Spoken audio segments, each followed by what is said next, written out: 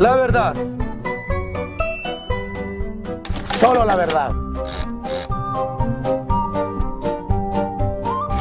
Nada más que la verdad. Exijamos la verdad. Merecemos la verdad. La libertad de expresión. Por un verdadero Estado de Derecho y no de opinión.